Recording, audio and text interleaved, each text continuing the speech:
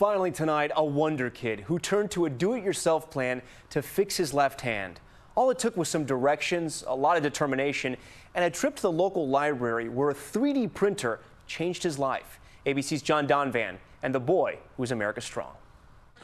It could be just part of the costume Colin Consavage wore this weekend, this bionic hand, but it's not because, first, it really works. See? And not just the light.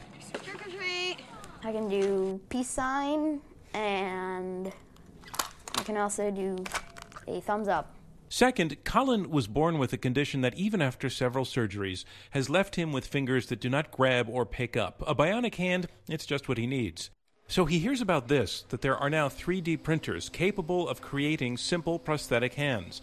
In fact, we've introduced some of these kids to you who got them before, like Annie Emmert of California, Alex Pring of Florida, where the same basic idea is in play. These 3D printers create the parts for devices that cost not tens of thousands of dollars, but only hundreds, because the designs are available online. So when Colin hears that his local library's printer is being made available to him, my reaction was the printing out took about a day and a half, and then assembly with his mom helping, and then voila. We're at the school that day, and everybody was thought it was really cool. Good attitude? Yep. The thing we always hoped for, we wanted to raise him to be comfortable. And by the way, this is just a starter project. Better hands are coming. You can be sure Colin will be grabbing for one of those. Awesome. John Donvan, ABC News, Washington. A perfect fist bump.